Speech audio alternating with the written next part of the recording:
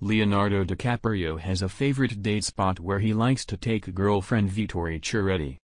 The 41-year-old Hollywood star frequently chooses Italian eatery Giorgio Baldi in Santa Monica, California, for dining out with his 25-year-old girlfriend, who is an Italian model.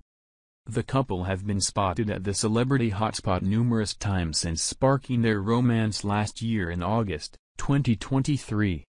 Just over the weekend, they were photographed by Page Six enjoying a meal on the same venue for a date night. They were spotted leaving the upscale eatery as they got into a car together and drove off. A source told People magazine, the restaurant has been Leo's favorite for years and he's enjoyed date nights with Vittoria several times. She's, of course, Italian, so she takes care of ordering all the favorites. Another source noted about Ceretti, she is very cute, sweet and charming.